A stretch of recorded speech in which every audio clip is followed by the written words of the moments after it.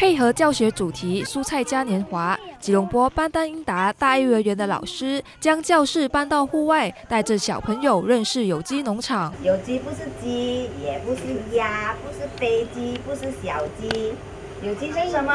有机是没有农药。认识有机蔬果，小朋友除了亲眼看，还能品尝花蜜，探索大自然奥妙。蜻蜓的 baby 了，那么这个时候呢，它已经是二十天左右了。那么在这一两天里面，它不会吃东西，它没有吃东西了的啊，它已经戒食了。光着脚丫走入田园，小朋友这一天当起一日农夫，体验农耕乐趣。一、二、三，耶！你今天来这里学到什么？学蔬菜。学蔬菜，这样你有看到什么蔬菜？很多。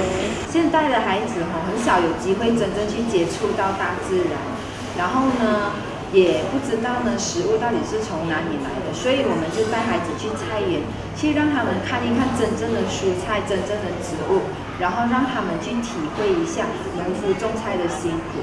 然后呢，进而呢，养成了不挑食、不浪费食物的好习惯。这一趟户外教学，小朋友开拓视野，从中学会爱护小生命，也更能体会盘中餐得来不易。